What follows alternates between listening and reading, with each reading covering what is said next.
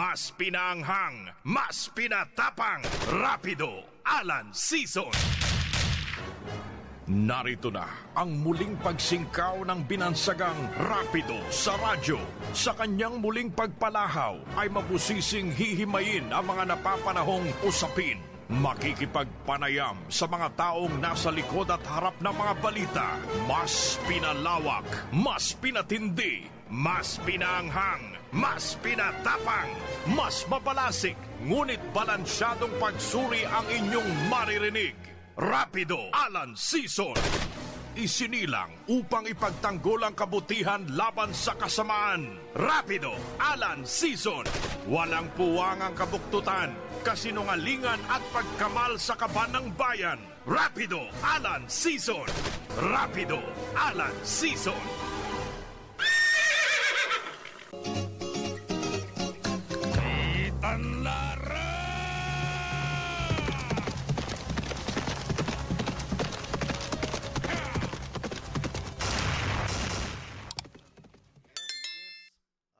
Magandang magandang umaga po sa kanilang lahat.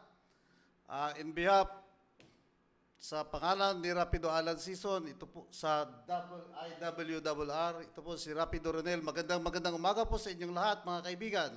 Andito naman po tayo sa episode sa bahaging ito ng IWRR. Sa mga balita po, yan, ang mga government employee, employee po ay uh, pinapayagan ng magkaroon ng flexi work. Ang ibig sabihin po ay uh, magkakaroon ng uh, flexi place, uh, flexi work, flexi time, lahat po yan. Ito po ay ayon sa uh, inisyo ng uh, Civil Service Commission na mag-start po mag-umpisa po sa June 15 ay pwede nang magkaroon ng agreement o ah, ah, mag-issue ng ah, rules and regulation yung Civil Service Commission, yung mga National Government Agency, LGU, ah, naayon doon sa pangangailangan ng ah, mga workers. Dahil nga rin po sa sinabi po ayon po kay ah, Senator ah, Grace po ay dapat nga lang na ipa, ipatupad ito, i-implement dahil sa spiraling cost of gasoline, crude oil, at saka yung cost of uh, transportation at cost ng mga bilihin po. Yan po ang kanyang panawagan sa mga uh, government agency na pwede namang ipatupad yung sinasabing uh, uh, flexi work. Ayon dito sa resolusyon, ng Civil Service Commission, ang flexi work arrangement ay ni-include yung flexi place wherein officials at uh, empleyado ng mga uh, gobyerno ay ma- mag-author, uh, ma-authorize sila, mabigyan ng karampatang uh, kagampanan to render service away from their home. Ito po yung uh, work uh, work home away from office. At uh, yun nga, uh, in which basta ang kailangan dito ay may 40-hour work week na mapapaisala isal, isalalim sa apat na araw or less instead of five. Skeleton workforce where a minimum number of personnel will be required to report to the office when full staffing is not possible. At saka work shifting for agencies required by law to operate 24/7 or agencies required to observe workplace healthy health and safety protocols. Flexi time nga, ika nga, where employees, yung mga empleyado ay allowed na mag-report ng between 7 a.m. to 7 p.m. provided they complete the required 40 40 work 40 hour work week at saka combination ng flexi work arrangements ay pwedeng adapt ah, pwedeng i-adapt ng ah, government agency, mga LGUs, pwede rin yan, at mga iba pang national government agency, basta ang kailangan ay matupad yung 40-hour work week sa isang ah, linggo. Yan po ang ah, pinag-aaralan ngayon at iminumungkahi nga ni Senador ah, Grace po dahil nga po doon sa pag-increase ng mga bilihin sa mga bilihin sa foods, cost of transportation dahil nga doon sa ah, Russia-Ukraine war effect ng ah, prices ng crude oil at saka gasoline dito sa ah, ah, nangyayaring ah, war ngayon doon sa Russian-Ukraine war dahil nakakaapekto ito sa ekonomiya ng Pilipinas. Yun nga, sinasabi nga pa nila na yung ang kumikita dito ay allegedly talaga ang kumikita dito ay yung ah, mga multinational corporation ng mga oil. Ah, sila talaga ang kumikita dahil nga siyempre pagkaalam po natin marami po silang stocks diyan eh, bigla naman nagtaas. Yung stocks nila eh iba yung presyo noon. Biglang nagtaas yung ah, ah, presyo ng ah, ah, gasolina ay pinibinta nila doon sa kasalukuyang ah, presyo ng gasolina worldwide. Yan po ay ah, talagang nakakaapekto sa kabuhayan ng mga tao. Sinasabi nga lang ng mga economic expert nitong ah, parating na President-elect ah, Ferdinand Marcos Jr. ay talagang mahihirapan yung national government na mag-cope with the economic situation dahil nga dito sa spiraling prices of commodities, gasoline, at ah, siyempre magkakaroon na na yan, ano yan, ng epekto sa lahat ng mga products, mga pangangailangan ng taong bayan. Kaya ah, sinasabi ng mga eksperto na dapat ang ating sambayanan ay dapat long term yung magtipid ng ah, long term kasi medyo nakikita nila na pangmatagalan talagang itong epekto ng ah, ng crude oil wo- worldwide.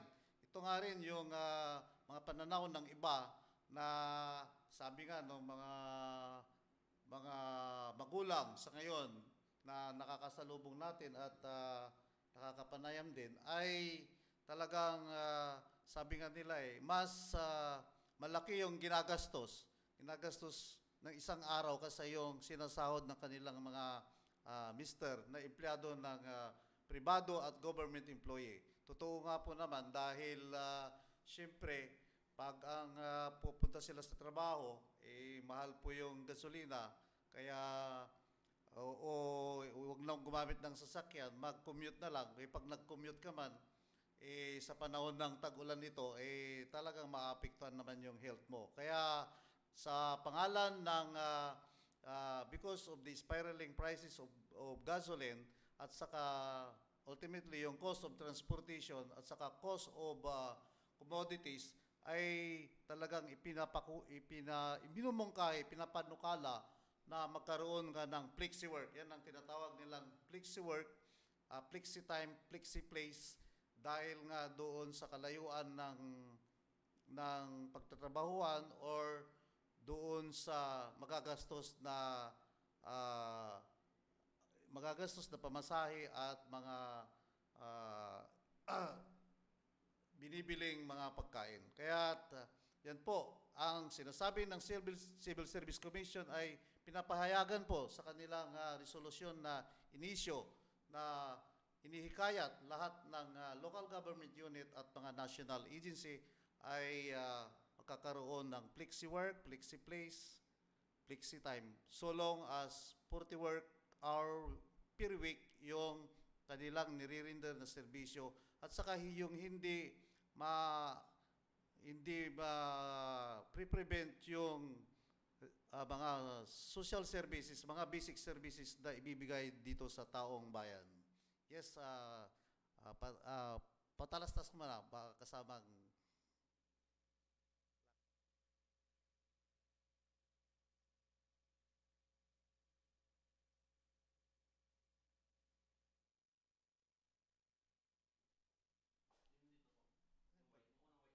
Partners, an ally that you can rely on. We offer protection, health plan, savings, investments, and retirement plan as we fulfill our mission to help people plan and achieve their financial goals in life. Because today, planning makes your dreams come true.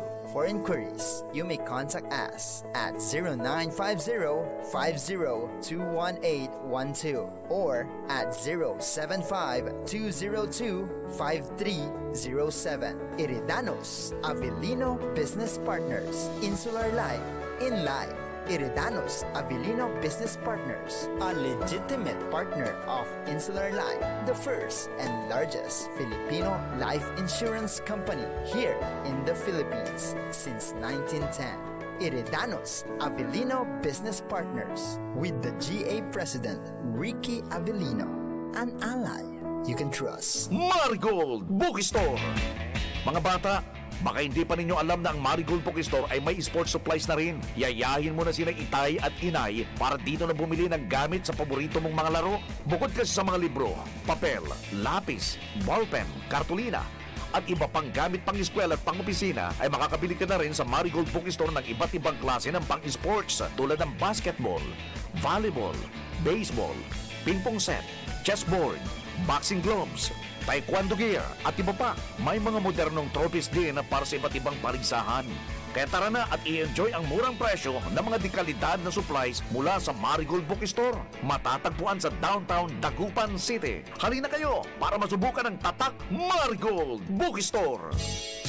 Ang elektrisidad ay kaagapay sa pag-unlad ng buhay. Maging wais sa pagkonsumo sa kuryente. Hugutin sa saksakan ang mga hindi ginagamit na appliances. Iwasang mag-overload ang mga aparatong dekuryente nang hindi magkasakuna. Paalala mula sa Central Pangasinan Electric Cooperative o CENPELCO sa pamumuno ni Engineer Rod Corpus.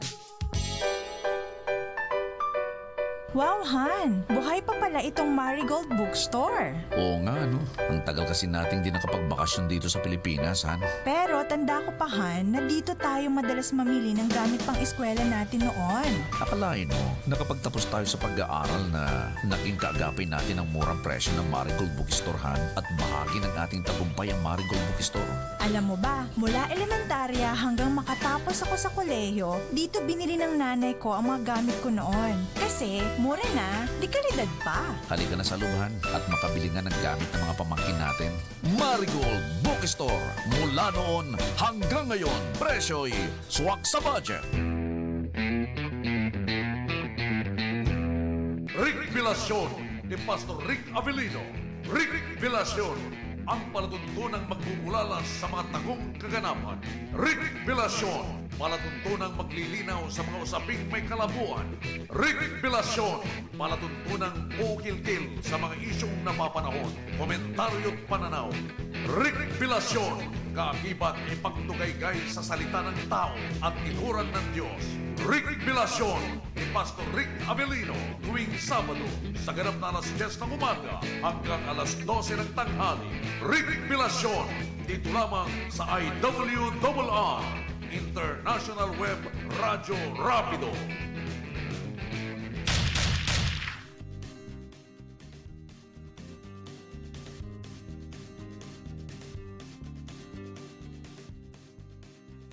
Yes, balik po tayo mga kaibigan. Ah, sa every Sunday po, every Saturday, Rick. Ah, manood po kayo dyan dahil maraming issue ang kanilang tinatalakay ni ah, Manong Rick Abilino. Rick Vilacion po every Saturday, ah, 9 to 9 to 11. 9 to 11, okay. Uh, Sabi ni kasamang laki. Well, anyway, mga kabarangay, ah, nag-issue na po yung kumilik ng direktiba na magbubukas po muli sila ng ah, ah, registration sa mga bagong butante dahil ah, sa kasalukuyan po ay tuloy na tuloy na po yung ah, December 5, ah, 2022 ah, barangay eleksyon dahil wala pa naman po uh, pinapak, pinapanukalang batas na sinusulong dito sa pagdating ng bagong ah, ah, Kamara de Representante at ka Senado. Yan po ang ah, sinasabi ng COMELEC na pinaghahandaan na po yung ah, bagong re- registration ng mga bagong butante, mga mag-transfer, mga hindi uh, nakarehistro panood o ah, mga hindi na naka hindi nakaboto ng ah, dalawang bisis yung ano tapos magre-register ka ulit. Kaya ah, ito po yung direktiba ng ah, Commission on Election na magkakaroon ng bagong pagbubukas ng ah, registration sa mga newly ah, ah, qualified voters upang ah, makaboto sa darating na barangay ah, eleksyon ah, dito sa ah, ah, Pilipinas. Yun nga, at ah, marami na rin pong ah, nag-oppose nung ah, pag-suspindi o pag-atras ng ah, schedule na ito ng barangay election sa December ah, 5, 20, ah, 22 dahil nga sa ang rason din ay ekonomiya na naman dahil nga more or less ah, 7 to 8 billion ang matitipid nila dito kung ah, pagpaliban ang ah, ang eleksyon sa December 5, 2022 dahil nga ang sinasabi ng mga economic expert na in-appoint ni ah, President-elect Ferdinand Bongbong Marcos ay magkakaroon ng ah, ah, parang ah, short shortage of pundo national fund because yung pundo ng ah, 2022 ay eh, nagastos na, na, na ibig sabihin ah, na appropriate na doon sa mga kasal- kasalukuyang mga proyekto. Yun nga kaya mahirapan yung ah, yung bagong administrasyon na mag-cope with ah, this economic ah, situation dahil nga ah, sa napabalitang ah, na ibig sabihin na appropriate na na na appropriate na yung mga pundo para sa mga ah, development project, national development, development project sa Pilipinas. Yan po. At ah, yan ay marami pa rin doon sa mga argumento at saka mga commentaries dito sa social media ay marami pa rin ah, pros and cons dito. Whether ah, postpone ba or ah, susulong or yung isit na, implement, na yung naka-schedule na barangay election. Ah, meron po tayong mga ah, komentaryo na gusto nila i-atras muna. Gusto nila, yung iba gusto nila i, ah, isakatuparan na yung ah, halalan ng barangay ah, sa December 5, 2022. Marami pong ano, kasi yung isang rason po dyan, eh, paano po, eh, madudugtungan yung mga termino, yung buwan ng pagsisilbi ng mga abusong barangay officials. Yun ang mga sinasabi. Pero on the other hand, lahat naman po sa pangkalahatan, ah, karamihan naman po ay talagang matinong ah, nagsisir, nagsisilbi yung mga ah, barangay officials dito. At ah, yun nga ay maraming ah, maraming ah, kuro-kuro at hintayin po natin yung final say ng palapit na pagbubukas ng Kongreso dahil nga ang sinasabi naman ng incoming ah, House Speaker Romualdez ay ah, pwede naman itong ah, ah, pagpaliban.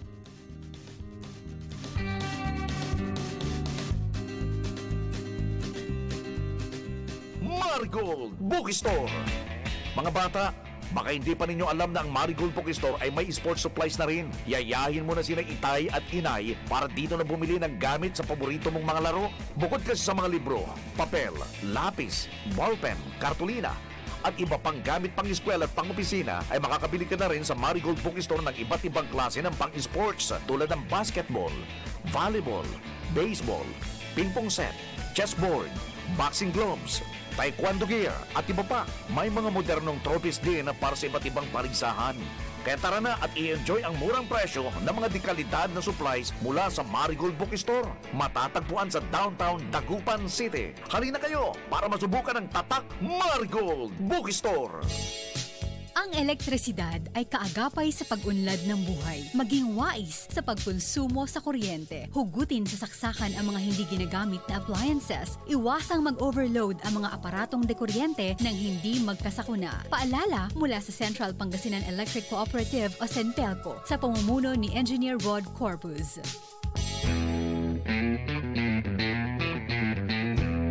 Revelasyon ni Pastor Rick Avelino. Rick Velasyon, ang palatuntunang magmumulala sa mga tagong kaganapan. Rick Velasyon, palatuntunang maglilinaw sa mga usaping may kalabuan. Rick Velasyon, palatuntunang ukil-kil sa mga isyong napapanahon, komentaryo at pananaw. Rick Velasyon, kaakibat ipagtugaygay sa salita ng tao at inuran ng Diyos. Rick Bilacion ni Pastor Rick Avelino tuwing Sabado sa ganap na alas 10 ng umaga hanggang alas 12 ng tanghali. Rick Bilacion dito lamang sa IWRR International Web Radio Rapido. In a world that is drastically changing and full of uncertainties, here is Iridanos Avellino Business Partners, an ally that you can rely on. We offer protection, health plan, savings, investments, and retirement plan as we fulfill our mission to help people plan and achieve their financial goals in life. Because today, planning makes your dreams come true. For inquiries, you may contact us at 0950-50-21812 or at 075-202-5307. Iridanos Avelino Business Partners. Insular Life in Life. Iridanos Avelino Business Partners, a legitimate partner of Insular Life, the first and largest Filipino life insurance company here in the Philippines since 1910.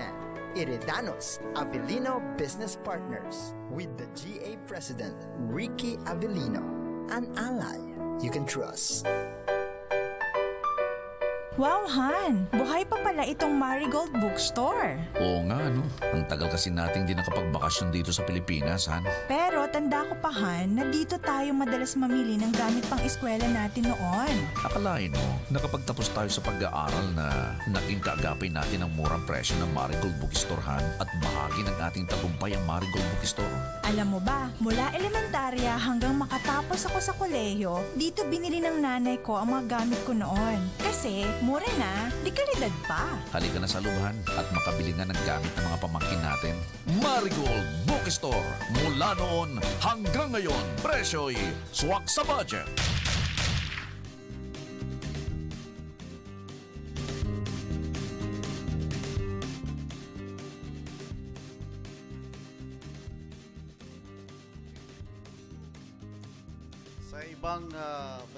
Naman dito sa politika po dito sa probinsya ng Pangasinan ay alam nyo po ang ah, nasa Local Government Code of 1991 ay ah, every 3 years ay magkakaroon at magpapalit yung mga nahalal na representative ng Pangasinan Councilors. Ito po ay napapasaloob doon sa Pangasinan Councilors League.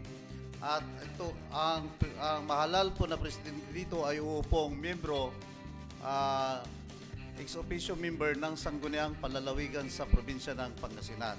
At ito nga po, sa kasalukuyan, ang, ah, ang older sister ng outgoing Pangasinan Councilors League President, Sheila Marie Pires Galicia, at sa siya ang kasalukuyang ah, presidente, PCL president ng ah, Pangasinan ay ang ah, nagpayag ng kanyang number one elect councilor Honey Boy Perez na may intensyon na tatakbo bilang next PCL president ah, ah, probably uh, facing newly elect Alameda City Councilor Arthur Celeste Jr., the son of uh, District Kambaki Congressman Arthur Celeste. Yan po ang napapabalita ngayon at uh, wala pa naman pong confirmation kung kung yung anak ng uh, dati at nga kasalukuyang uh, Congressman-elect Arthur Celeste ay uh, nakonsel naman siya, yung si uh,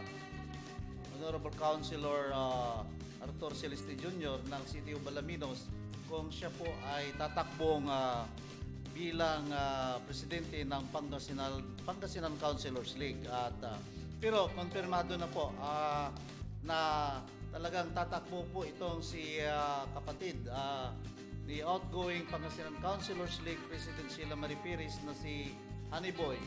Honeyboy Pires na magiging ah, next PCL president. Alam niyo po, ah, halos isang dekada na po na ang ah, Pangasinan Councilors League ay ah, pinangungunahan at ang li- leadership dyan ay mga Pereses po. Ah, yung isa nung una si ah, yung si PCL president ah, yung si Perez ngayon ay board member ah, Pe- Perez na ngayon ay siya yung unang ah, naging presidente ng ah, mga pe- unang Perez na naging presidente ng PCL. Ang sabi ko pa, yung itong si si Honeyboy Perez ay ah, ito yung panglimang anak ni former San Manuel Mayor ah, former Vice Mayor Salvador M. Na ito po yung ah, brother din, yung kapatid ng incumbent mayor Kenneth Perez. Ah, ito po yung brother din na nakakabatang kapatid ni Vice Mayor Jericho Perez. At yun nga pala, ah, dating PCL President at re-elected 6th District Board Member ngayon, si Salvador Dong Perez. Na sinasabi nila na yun nga ay ah, nakapag-establish na rin ng ah, pundasyon yung mga ah, pamilyang Perez sa politika dito sa Pangasinan. Dahil sa totoo lang eh, sila po ang pumapay, namamayagpag dyan sa bayan po ng San Manuel na kung saan naman itong bayan ng San Manuel, San Manuel ay ah, malagay ko first class municipality ito dahil sa malaki ang kanyang ah, internal revenue allotment dahil andyan po andyan po yung San Roque ah, Dam at ito po ay nag-generate ng electricity at ibinibenta naman po doon sa mga ah, electric provider. Ah, yun nga, kaya malaki po ang ah, ah, generation taxes, ah, revenue ta- real property taxes at saka yung mga ah, taxes na nag-generate dyan sa pag-operate ng San, San Roque Dam. At yun nga, almost is itong si father nga nila, is si ah, Mayor Salvador M. Perez ay ah, almost 20 years in the public service na nagsilbi dito sa bayan ng San Manuel. At saka dahil sa magandang dilira, liderato at ah, kanilang pagsisirbi sa kanilang mga kababayan ay namamayagpag din yung mga sunod-sunod din po yung mga anak. Naging ah, mayor, vice mayor, councilor, naging kapitan. At ito nga itong si ah, councilor elect Honeyboy ah, Honeyboy Pires ay ah, tatakbong bilang PCL ah, president. Na siya naman ang halili kay kanyang ah, nakatatandang kapatid na babae na si Sheila Marie Pires Galicia. Ito, maganda po. Ito po yung inaabangan po ng inaabangan ng mga konsehalis na na nahalal nitong ah, katatapos na eleksyon dahil nga ah, alam niyo po sa politika po ng ah, PCL ay kung may magkatunggali ay talagang ah, medyo nagsisigawan diyan yung mga yung mga konsyal dahil alam niyo na eleksyon katulad ng regular na eleksyon ay ah, mayroon ding mga ano yan, mayroon ding mga political ayuda na tinatawag kong political ayuda, political ah, campaign fund na inilalabas para mahalal nga sa mahalal bilang PCL President ng probinsya ng Pangasinan na kung sino man dito ang mahalal ay uupo bilang regular na I, mean o ay ah, ex officio member ng ah, Sangguniang Palalawigan. At nakikita po natin dito na ang ah, political parties po dito na nahalal na nahalal yung uh, gobierna, bagong gobernador na si Ramon Monmon Kiko na tinalo naman niya yung ah, now incom, ah, si incumbent ah, governor ah, Amado Pogi Espinil Jr. ay natalo nga siya at nakikita po natin yung political lineup, political ally nila doon sa Sangguniang Palalawigan ay medyo majority po yung ah, majority po yung alkalyado ng uh, Espino Camp.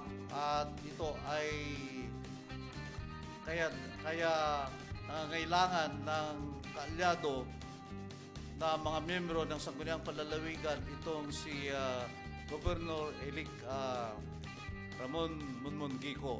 Kaya kailangan niya pong mag talaga mag-assign magtalaga ng ah, ilalaban dito sa kay kay uh, Honeyboy Piris dahil ang pagkaalam po natin ay ang mga Pharisees po ay kaalyado ng mga Espino. Kaya ah, abangan po natin yan at ah, marami nga pong nagtatanong ng mga konsyal at saka yung mga bagong konsyal ng ah, ah, Pangasinan sa iba't ibang bayan, nagtatanong sila kung ah, ah, sino talaga ang ah, lalaban dito kasi yun nga i- ito ay pres- prestigious ah, political ah, ah, ah, electoral contest yung sinasabi dito.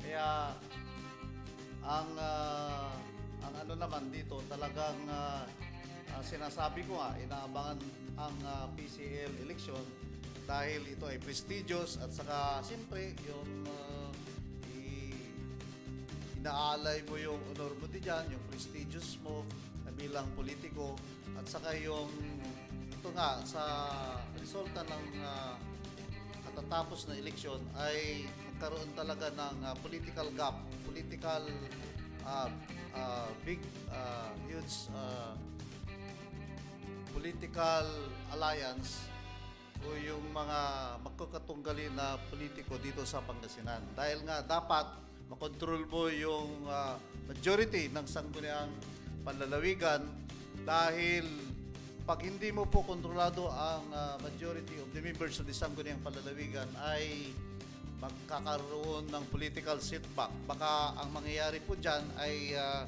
masyadong mapolitika ay hindi naman uus ah, hindi naman ah, gugulong or ah, magkakaroon ng ah, suporta doon sa mga polisiya, mga programs of government ng ah, bagong halal na gobernador na si Ramon Monmon Kiko. Yan po. Yan po ay yung nakikita po natin politika dyan sa Sangguniang Panlalawigan. Eh, balita po natin dahil sa kanilang mga pahayag sa sa mga uh, news conferences, itong si Governor Ramon Gico ay talagang ipupursige, i-implement yung industrial uh, eco- economic aspect ng probinsya ng Pangasinan. At saka malalaking proyekto po ang kanilang mga pinaplano dahil uh, whether you like it or not, tatapos na po yung mga mga farm to market roads, mga major farm to market roads, mga ah, infrastruktura sa ospital, sa mga eskwelahan ng ah, ah, iti- ah, proyekto naman ito ni Governor uh, Espino ah, the third. Yun yun po ang nangyayari ngayon. Kaya ang ah, ang point naman, ang puntirya ng programa ni ah, Governor Kiko ay yung pagpapalawak ng negosyo, yung ah, economic aspect naman ng Pangasinan, yung pagkakaroon ng ah, industrialization, mga seaport, ah, pagkakaroon ng ah, kahit na hindi naman international airport siguro, yung ah, ano lang, pag ah, or international airport at that, pwede naman siguro sa probinsya ng Pangasinan at yung mga daungan, ng mga barko, seaports, kailangan pa natin yan para suportahan yung continuous progress at development ng probinsya ng Pangasinan. At ah, yun nga, ang isang problema dito ay marami namang produkto ang ah, probinsya ng Pangasinan katulad ng sibuyas, mga rice, mga basta yung mga ah, vegetables ay hindi po talaga ito natatransport. Dapat yung makakaroon po tayong pananaw na bilang isang probinsya ay export-oriented po tayo yung mga products po dito. At ah, marami po namang katulad po ng probinsya ng Sambales, mga mining eh, industries po dyan, ay ah, hindi po gaanong ah, maganda po yung ah, port ng Sambales. Ah, unless na doon sa Subic siguro. Pero pag nagkaroon po ng port, seaport po dito sa Pangasinan ay talagang mamamayagpag po yung ah, ah, mining industry siguro, yung mga fishing industry natin dito, yung mga uh, pwedeng magkaroon ng industrial sites na pwede naman directly export yung mga product products na ito doon sa ibang bansa. Yan po ang ah, ah, mga kasalukuyang pag kasalukuyang pangyayari dito sa probinsya ng Pangasinan at uh, naantabayan po natin mga ito dahil ah, ang palapit na po yung ah, June 30 mid ah, mid noon na ito naman ang pag-upo ng mga bagong halal na opisyalis ng probinsya at sa mga syudad at kabayanan ng probinsya ng Pangasinan. At ito nga, sinasabi natin kanina na naghahanda rin yung mga at ibang ah, political parties na, sa PCL nga, yun, ay uh, pinaghahandaan na nila kung sino lang kanilang mga susuportang kandidato yung Pangasinan Councilors League naman ay ah, kung sino man ang mahalal dito na presidente ay upong ah, provincial board member ng ah, ah, Sangguniang Panlalawigan ng province of Pangasinan. Yan po. At ah, Meron ding mga leagues na mayroon tayong ah, Pangasinan Beers League, mayroon tayong Vice Mayor's League na ang kasalukuyang ah, presidente ngayon ay si City Vice Mayor Anton Perez doon sa ah, bay, ah, siyudad ng Alaminos. At ang posibilidad po dito na mangyayari ay magkaroon po ng succession dito dahil ah, ang Vice President po ngayon ay si ah, Vice Mayor Atty. Nelson Gayo ng Lawak Pangasinan. Siya po ang Executive ah, Vice President ng Vice Mayor's League. At ang nangyari po dito, kaya mayroong ah, parating na succession dyan sa Vice Mayor's League of Pangasinan ay dahil hindi na po ah, kumandidato si City Vice Mayor Anton Pires ng ah, City of Balabinos kaya makakaroon po ng vacancy yan. At in the meantime po ay sasaksit po hahalili si ah, Atty. Nelson Gayo bilang ah, presidente ng ah, Vice Mayor's League. Habang hindi pa po nangyayari yung kanilang ah, eleksyon na gaganapin po sa mga susunod na buwan. Siguro mga October or November yan dahil nga sa paghahanda niyan. At ah, balita po natin, according to Attorney Nelson ah, Gayo, ay magkakaroon po ng ah, ah, parang ano ito eh, parang ah, ah, ang tawag dito, yung bibigyan po ng ah, isang okasyon ah, si ah, City Vice Mayor uh, Alaminos City Vice Mayor ah, Pires, Anton Pires at saka mga opisyalis po ng ah, kasalukuyang ah, Vice Mayor's League sa Pangasinan bibigyan ng ah, isang okasyon parangal para sa kanilang mga nagawang serbisyo naman po bilang ah, Vice Mayors uh, League of Pangasinan Officers itong ah, 2019 up to 2022. Kaya ang ah, balita po natin ay magaganap po yan sa June 30. Wala pa bang official invitation pero yun po ang nakalap nating balita kay ah, ayon kay Attorney ah, Nelson Valdez Gayo na hahalili bilang presidente pagkatapos po at sa pagkatapos po ng June, uh, the midday of June 30, 2022. Yan po ang ating mga ah, mainit na balita. Abangan po ninyo mga konsehalis, mga bagong halal, mga dati at saka mga ah, mga former ah, kasi ang ano dito ah, mga yung mga nahalal din na vice mayor ay isinasama po dito eh, dahil nga sino po po ang mga leaders nila dyan sa Sangguniang Bayan kundi yung ah, vice mayor, yung presiding officer at ah, yung mga pati ata yung mga ano eh sumasama rin, isinasama rin dito eh, yung ah, liga ng mga barangay president. Dahil nga minsan alam po noong ah, mga previous elections ay ah, ay kinakampanyahin din po yan kasamang nagkakampanya. Pero ah, ay parang hindi ko hindi ko rin tansya kung ah, sila ay makakabutos doon sa Pangasinan Councilors League dahil meron po naman silang sariling liga, liga ng mga barangay at sila rin po ay maghahalal dito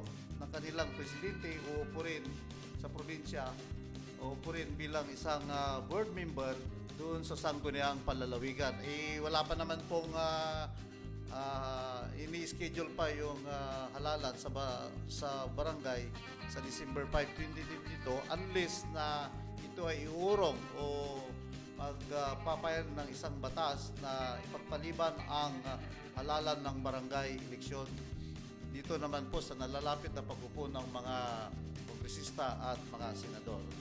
At tabayanan po natin yan mga mga kumparing mga konsehalis bago at mga ah, re-elected na councilors. Ang sinasabi po sa PCL councilors league election ay Peros, Pires, I mean, sorry, uh, Pires versus uh, Siliste. Yan po ang napapabalita lang. Wala pa naman pong confirmation sa mga Siliste, pero mayroon na pong uh, confirmation sa mga Pereses. Yan po ang uh, inyong antabayanan sa mga susunod na araw.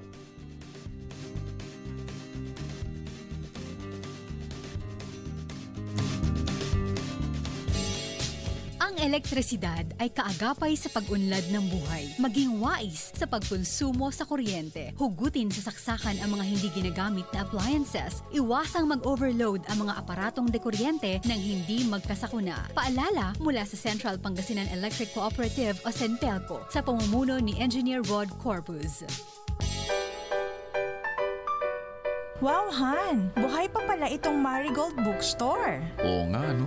Ang tagal kasi nating di nakapagbakasyon dito sa Pilipinas, Han. Pero tanda ko pa, Han, na dito tayo madalas mamili ng gamit pang eskwela natin noon. Akalain mo, nakapagtapos tayo sa pag-aaral na naging kaagapay natin ang murang presyo ng Marigold Bookstore, Han, at bahagi ng ating tagumpay ang Marigold Bookstore. Alam mo ba, mula elementarya hanggang makatapos ako sa kolehiyo, dito binili ng nanay ko ang mga gamit ko noon. Kasi, mura na, di kalidad pa. Halika na sa lubahan at makabili nga ng gamit ng mga pamangkin natin.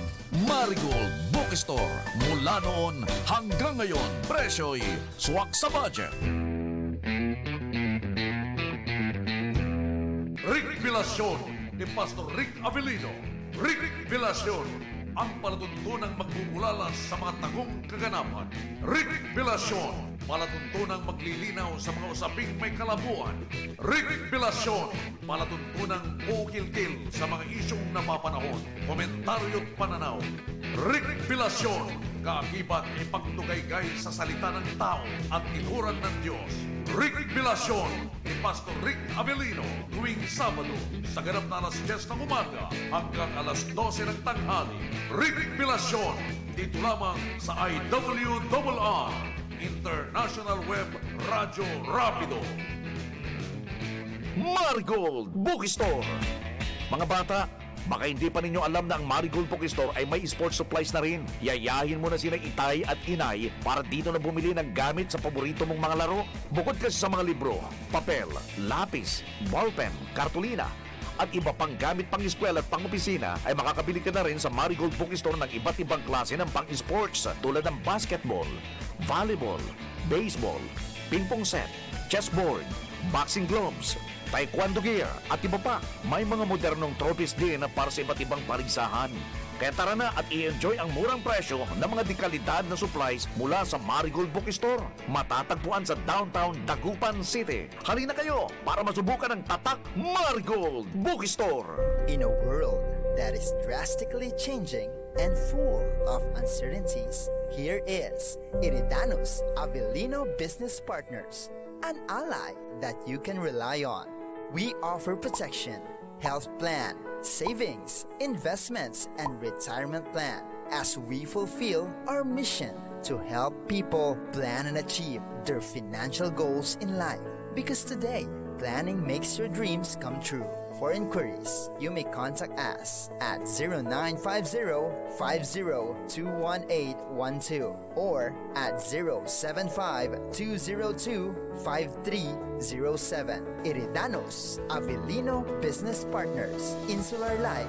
In Life. Iridanos Avelino Business Partners, a legitimate partner of Insular Life, the first and largest Filipino life insurance company here in the Philippines since 1910.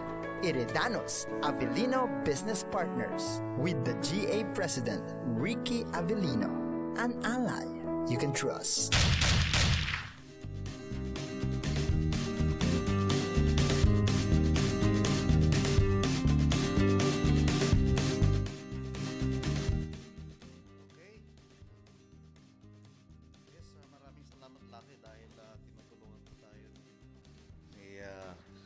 Lucky dito dahil hindi po naman po natin kabisado masyado ito.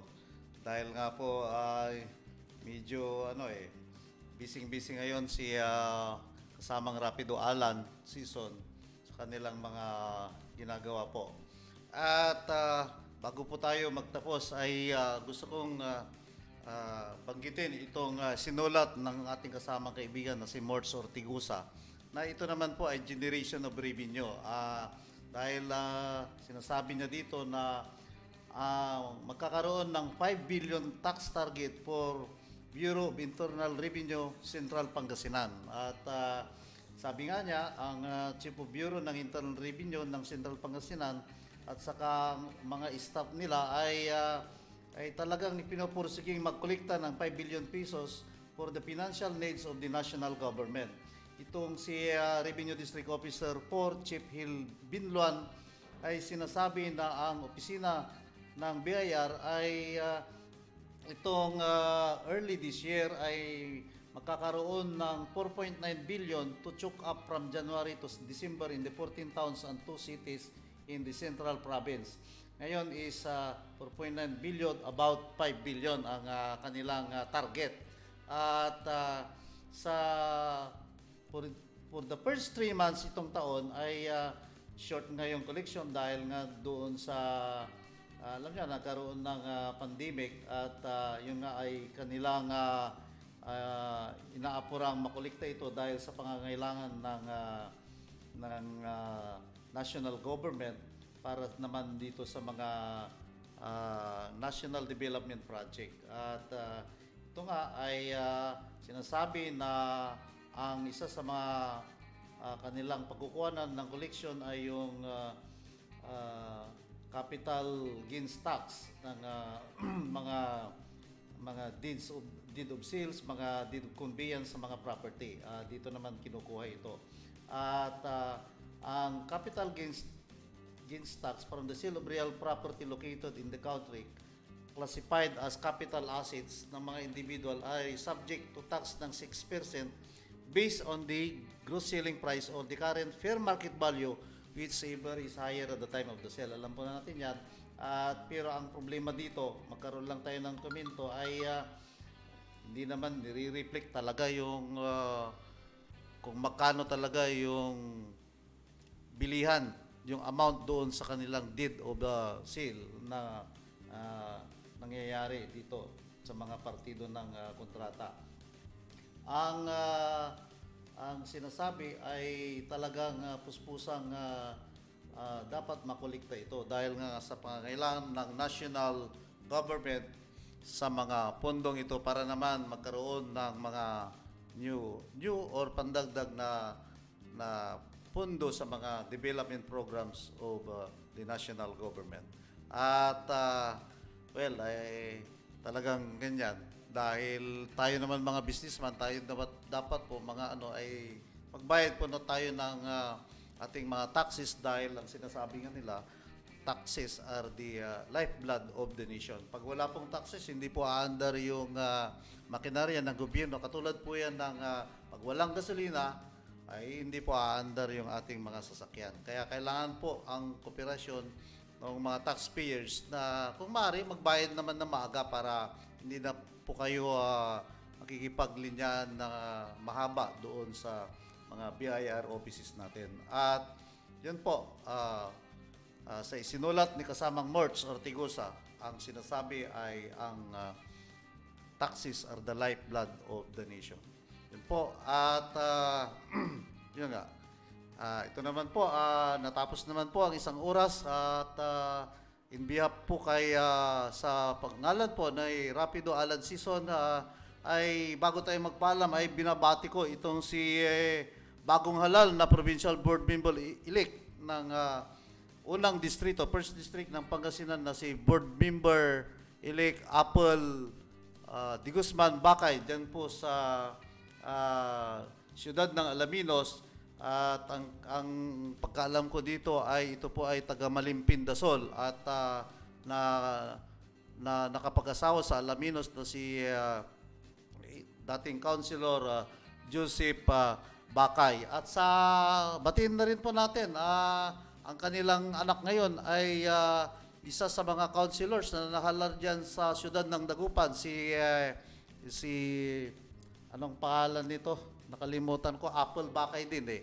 At ah, yung beauty queen dyan sa City of Alaminos, congla- congratulations po. At itong si kanyang ah, asawa naman na taga-bayan ng Burgos ay ah, na nahalal din si ah, ah, Councilor Alvin Tolentino. Binabati ko na rin yung mga kamag-anak ko dyan na nahalal sa Burgos, si Oswald Hines, ah, si Wawi Bungar, Ah, sino pa ba ngayon yung mga iba dyan? At ah, yung ah, bagong mayor ngayon dyan, no, si Alan Gis- Gister Valenzuela. Binabati po natin.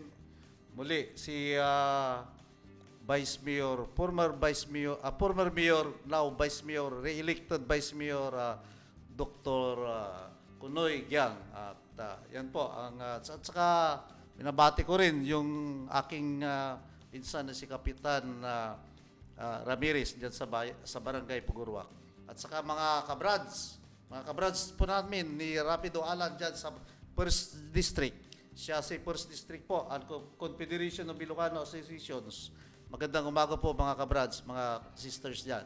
At yan po, ay natapos na po ang isang oras na ating programa ng ah, IWRR, ah, International with Radyo Rapido. Sa ngalan po ni uh, Rapido Alan Season, ito po si Rapido Rapido Ronel de Vera, nagsasabing magandang umaga po sa inyong lahat.